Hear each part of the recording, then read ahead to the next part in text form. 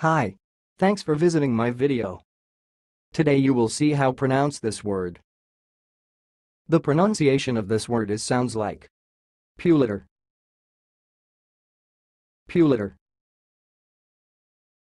And I will repeat again, but slowly. Puliter. Puliter.